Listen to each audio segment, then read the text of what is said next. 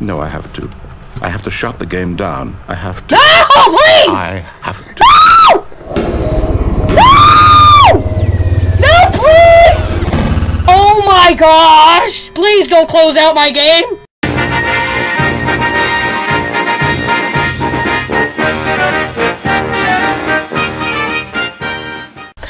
Hello everybody, InsaneASock Jr. here. Welcome you guys back to the Stanley Parable.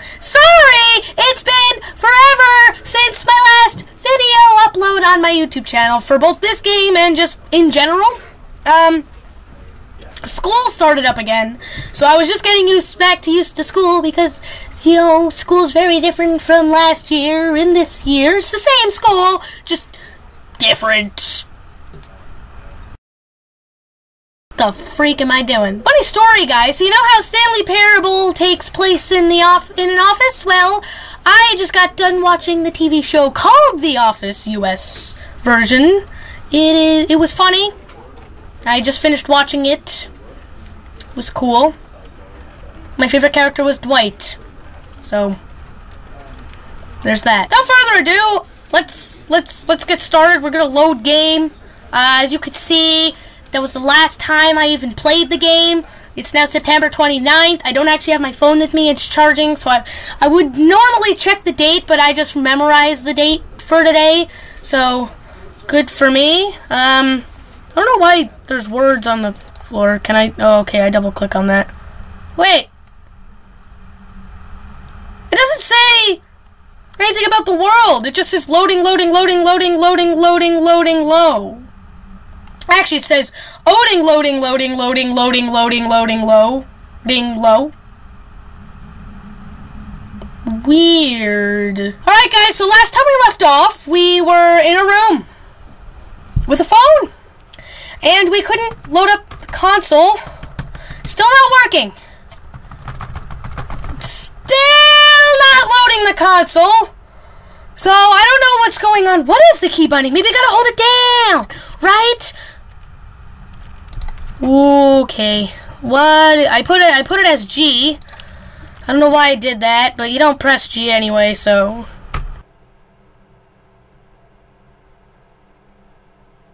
didn't work.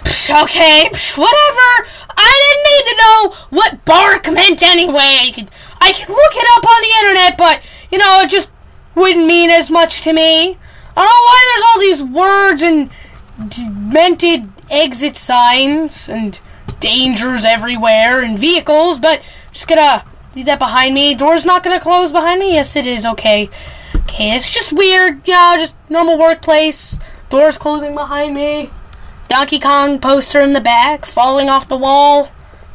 I don't have my air conditioner on. It's it's 72 degrees out. It's fine. Ladder.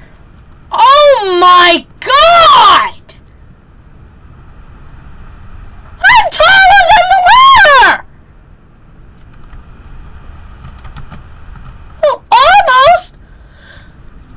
Are people usually as tall as a freaking ladder? So! This guy's eight feet, eight foot nine! I think that's how. Is that how to? No, no. He's probably like more like nine foot seven. Okay, that might be a little, little bit overdoing it. But there's a fence know on your choices now. are meaningful, we can't have you jumping off the platform and dying. Imagine the main character dying senselessly halfway through the story. That story would make no sense at all. No, you're we just right, need to get you home as soon as possible before the narrative contradiction gets any worse. Unfortunately, it seems this place is not well equipped to deal with reality. What? Wait, so everything here is fake? Are you real, sir? Okay, well, you know me, just gonna head way back. Doors opening on their own. Sure, this place is haunted. You know, uh, no money behind me. Just gonna walk on down. See, if I don't even remember my coworkers' names from last episode, what was there? Billy and Jimmy and Diogenes? I don't know. Almost there. You'll take the door on the left, back to the correct ending, the story will have resolution once again, and you'll be home free in the real world. Well, can I not? How did I not? I walk really fast. Now remember, all you need to do is behave exactly as Stanley would. That means Okay. choosing responsibly and always putting the story first. Yes. I'm quite sure you'll be up to the task. Just follow my lead and you'll be fine. All right. when Stanley came to a set of two open doors, he entered the door on his left. Is he gonna kill me? No! Why did you do that? Quickly, hurry back in the other direction. Perhaps we're not too late. What the heck happened? The world broke! The world broke! Okay, I'm gonna go back in here. Okay, it's the same. Whatever! Okay, just check it for Easter eggs and all that.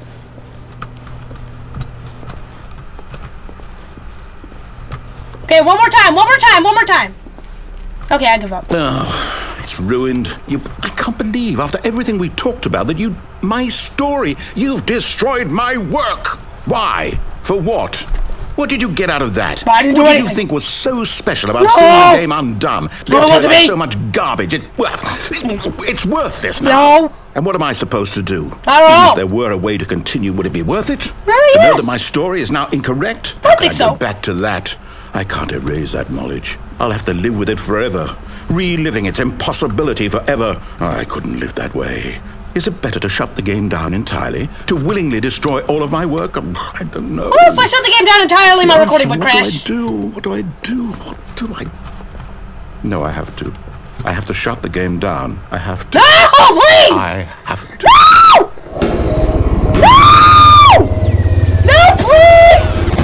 Oh my gosh! Please don't close out my game!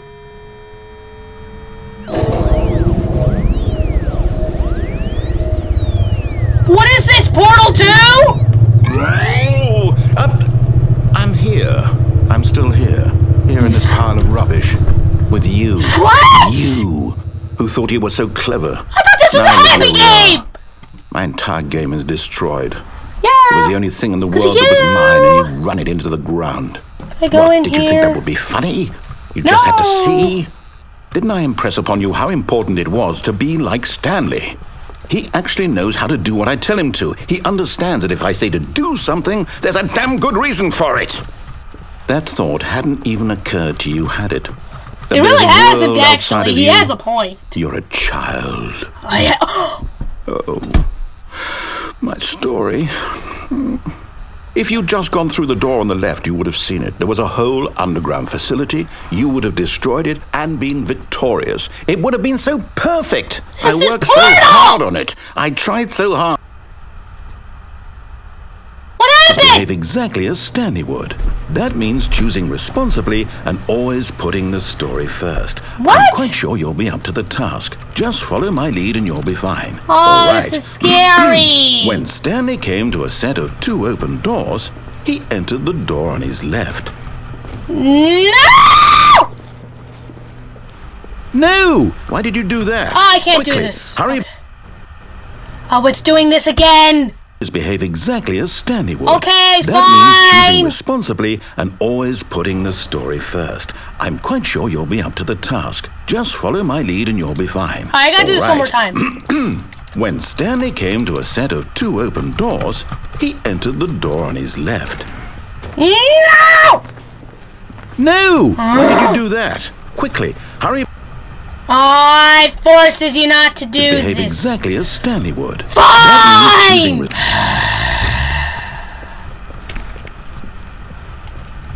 Fine. Yet there was not a single person here either. Feeling a wave of disbelief, Stanley decided to go up to his boss's office, hoping he might find an answer there. Hey, who's moving these slides? If I'm the only one here, why's the power on? That's my question. They're wasting energy. Brunk, I'm. Oh, God, they locked the broom closet! No! No! I left my car keys in there! Are you kidding me? Damn it! Damn it, no! You can't! I left my car keys in there! Ah! Case, Stanley walked upstairs to his boss's office. Can I go downstairs? He's forcing me to do the right thing. You said there's an underground facility. I'm going up, not down. you lied. It's this way. A locked door. Great. Fabulastic. Is this reception? Please. I'll be the receptionist. What would you need? What do you need, um, Mr. Insane Sock Jr. Stanley, sir? Well, I need to see my boss. I don't know what a boss is, but you can see your boss. I don't know what a boss is, but I'm here to see my boss, so I'm just gonna go through these double doors here. No, I'm not. Gonna go through these double doors here, and I'm gonna see the icon of the game and a panda. Because why not? Stepping inside his manager's office, Stanley was once again stunned to discover not an indication of any human life. Shocked, unraveled, Stanley wondered in disbelief who orchestrated this until he saw the door with a voice receiver next to it. Surely behind this door lay all the answers to his questions. And beyond all probability, he knew the passcode. He had seen it on He his did? boss's computer just last week. Night Shark 115. Was this the code to open the door? Would it still work? There was only one way to find out. Stanley had been trained never to speak up, but now he would draw from within himself the courage to face the unknown. Okay. He drew a sharp breath and then spoke the code. Mm-hmm. Shark 5517. What? Stanley spoke the code. Night Shark 115. He spoke it into the receiver, right there on the wall.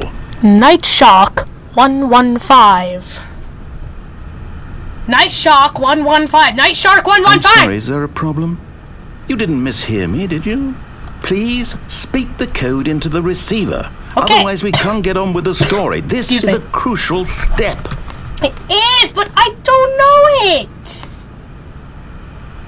Okay, fine, you're not gonna do it, but you know what? It's pretty humiliating to bring you this far, only for you to suddenly decide you have better things to do. I asked you for this one single thing, for your respect. The kind of respect Stanley shows for his choices. He knows what it means to take a story seriously. If you didn't want to see what I had to show you, then why did you come here? I don't control what Stanley You says! could have gone through the door on the right. You could have done whatever the hell you wanted over there. Why did you come this way? I Speak. don't- Say something to me. Explain yourself, you coward. Because I had no choice. When choice. Stanley came to a set of two open doors, he entered the door on his left. What? Stanley? Hello? Are you... Is everything okay? Stanley, please. I... I need you to make a choice. I need you to walk through the door. Are you listening to me? Can you hear me? Is everything all right? Stanley, this is important. The story needs you. It needs you to make a decision. It cannot exist without you. Do you understand me?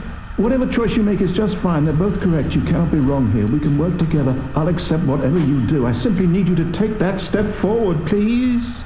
Choose. Do something. Anything. Christian with two A's and Baker with two K's? That's a badass name. So, Christian's my name. Baker is not my last name. okay.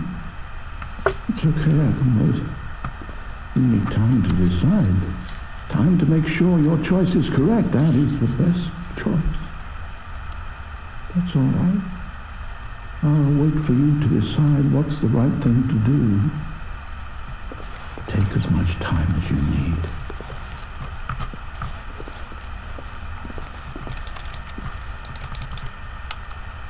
That was creepy! Oh, here it is! End is never the end, is never the end, is never the end, is loading! Guys! What heck just happened? That just got weird, creepy, strange, scary. That's two things! Really? Because, well, I mean, uh, thing.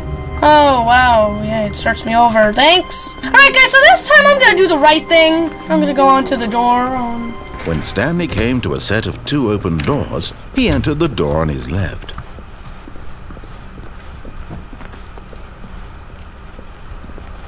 Yet there was not a single person here either.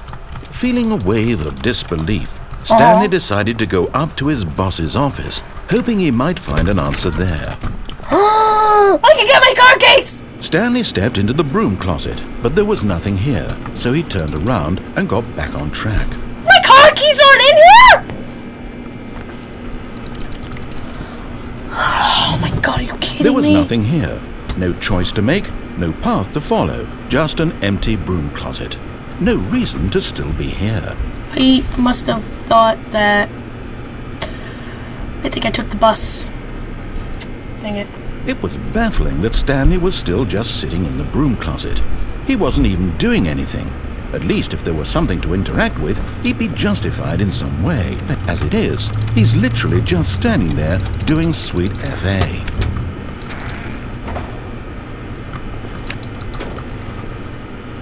Are you are you really still in the broom closet? Standing around doing nothing? Why? Please offer me some explanation here. I'm I'm genuinely confused. I don't know. I just. Just figured I. You do realize there's no choice or anything in here, right? If I'd said Stanley walked past the broom closet, at least you would have had a reason for exploring it to find out. But it didn't even occur to me because literally this closet is of absolutely no significance to the story whatsoever. I never would have thought to mention it. Hmm, okay. Did I get the broom closet ending now? Does that exist? Maybe to you this is somehow its own branching path. Maybe when you go talk about this with your friends, you'll say, Oh, did you get the broom closet ending? The broom closet ending was my favourite. I hope your friends find this concerning. Ah, maybe I will. I would totally. Stanley was fat and ugly and really, really stupid. He probably only got the job because of a family connection. That's how stupid he is. That or with drug money. Also, Stanley is addicted to drugs and hookers. Okay, now that now that's just offensive to Stanley. Like, Well, I've come to a very definite conclusion about what's going on right now. You're dead. You got to this broom closet, explored it a bit, and were just about to leave because there's nothing here when a physical malady of some sort shut down your central nervous system and you collapsed on the keyboard. Well, in a situation like this, the responsible thing is to alert someone nearby so as to ensure that your body is taken care of before it begins to decompose. Hello? Anyone who happens to be nearby? The person at this computer is dead. He or she has fallen prey to any number of your countless human physiological vulnerabilities. It's indicative of the long-term sustainability of your species. Please remove their corpse from the area and instruct another human to take their place at the computer, making sure they understand basic first-person video game mechanics and filling them in on the history of narrative tropes in video gaming, so that the irony and insightful commentary of this game is not lost on them. All right, when you've done that, just step out into the hallway. no! Well, if the game's not gonna give me anything, that's gonna end off this episode, guys. If you liked it, please press the like button. Don't forget to subscribe, and I'll catch you later! I'll wait here one more minute. Maybe if I step out of the closet? Ah, second player. It's good to have you on board. I guarantee you can't do any worse than the person who came before you. You too? Unbelievable. I'm at the mercy of an entire species of invalids. Perhaps there's a monkey nearby you can hand the controls to. A fish? Fungus? Look, you can hammer out the details. I'm not particularly picky. I'll just be waiting for when you're ready to pick up the story again. I'll just be in here.